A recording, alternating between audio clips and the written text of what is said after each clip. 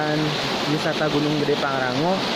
Terus sekarang gue lagi mau menuju ke, ke apa air terjun Ciberem, Curug Ciberem.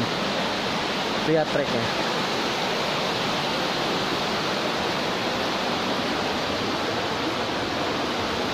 Masuk ke hutan. Keren banget.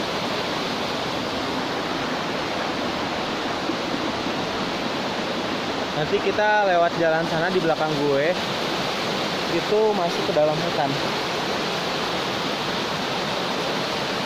Cuaca hari ini mendung.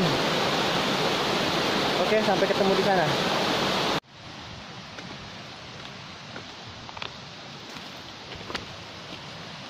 Wow.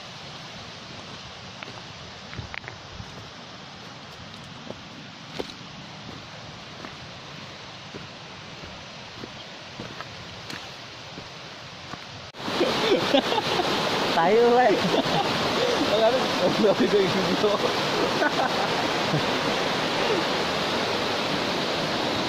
Kita lagi ada di dalam hutan. Kita masih di perjalanan. Dan lo tahu nggak? Kita itu baru orang pertama yang datang ke sini. Karena lagi sepi katanya. Emang jarang yang datang ke sini. So quite lovely here. Kita sih nyebutnya ini hidden paradise.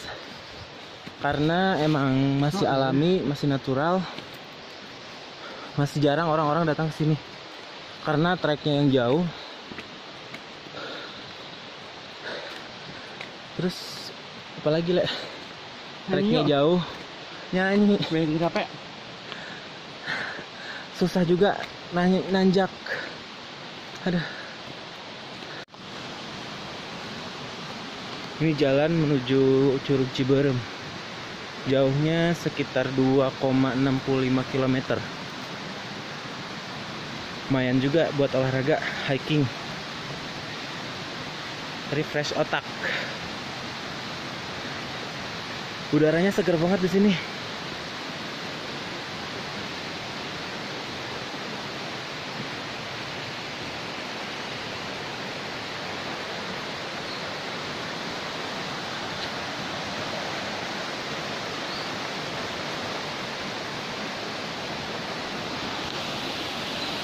Kita lagi berteduh karena hujan dan capek juga.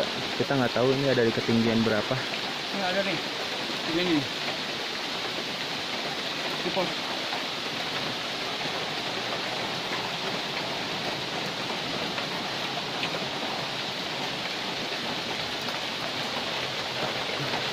Kita ada di ketinggian 1320 mdpl. Dan kita di sini cuma berdua aja, nggak ada yang ke sini. Lagi turun kabut.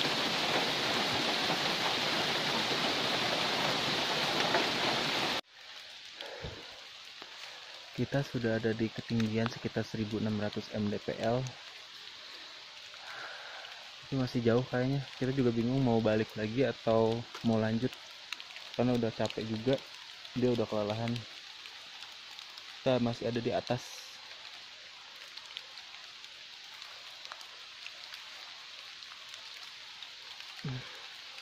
Tapi suara-suara airnya udah kedengeran sih cuman kayaknya masih jauh. Halo selamat siang. Akhirnya kita sampai di tempat tujuan di daerah Curug Ciberem.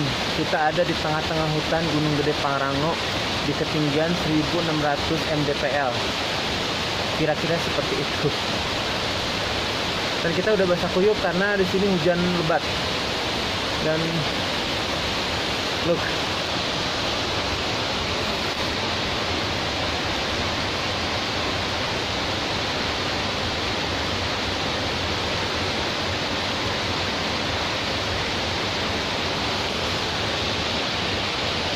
Itu tinggi air terjunnya 60 meter tinggi banget oke sampai ketemu nanti di bawah ya Still bleeding.